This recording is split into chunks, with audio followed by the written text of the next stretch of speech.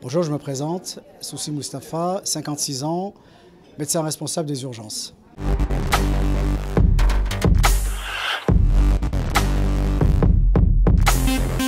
Je me suis engagé dans la société civile avec Alain Carignon parce que j'adhère à la fois à ses idées mais également à ses actions. Je l'ai connu lorsqu'il a été maire de, Grenoble, j'ai connu la ville euh, sous la direction d'Alain Carignon et puis j'ai vu les évolutions jusqu'à aujourd'hui.